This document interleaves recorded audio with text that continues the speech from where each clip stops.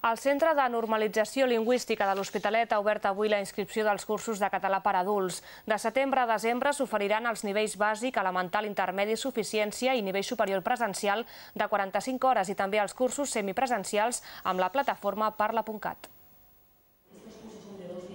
Ja estan obertes les inscripcions als cursos de català del Centre de Normalització Lingüística pel període de setembre a desembre d'aquest curs.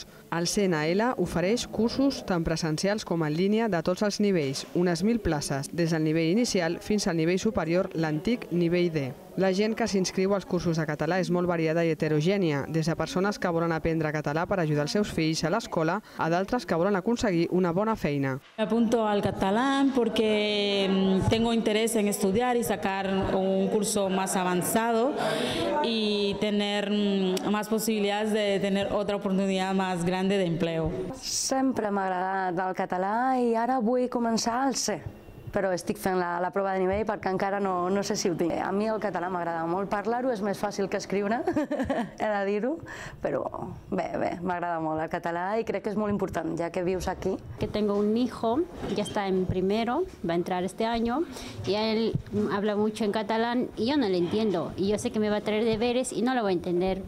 A més dels cursos de català, el Centre de Normalització Lingüística ofereix tota una sèrie d'activitats per practicar la llengua i conèixer el país des d'organitzar activitats per practicar el català, a organitzar activitats per conèixer la ciutat i, en definitiva, conèixer el país.